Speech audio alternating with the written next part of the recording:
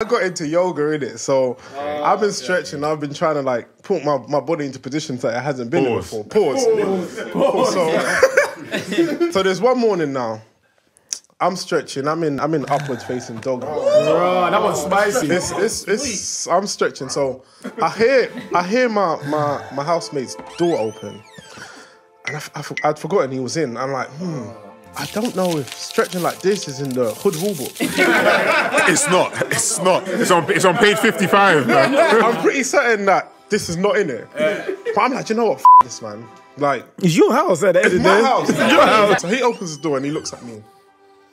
And he's like, yo. So I look back. I'm like, I'm in this position. I'm like, I'm like, yo. Wifey that.